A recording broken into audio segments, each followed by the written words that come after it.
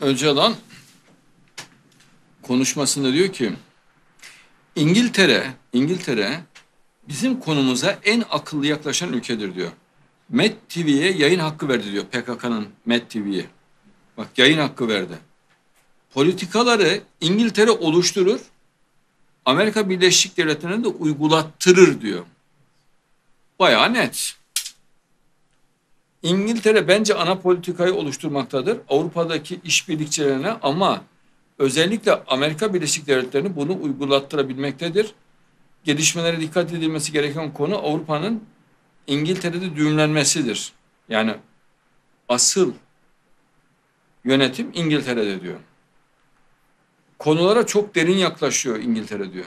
Daha ne desin ya? İşte anlatmış.